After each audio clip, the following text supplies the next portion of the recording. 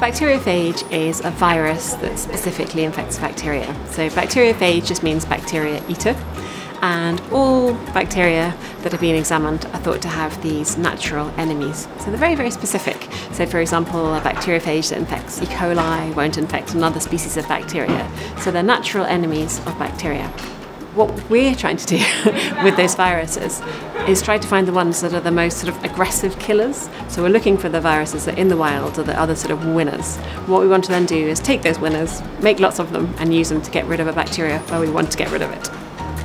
Phages were found 100 years ago, and initially they were developed as therapeutics, but after antibiotics came along, most research in this area more or less stalled. So we've got a, a, lot of making up to do, but now we have this strong driver of antimicrobial resistance. There is a big resurgence in this area, so it's an exciting time to be looking at these uh, organisms.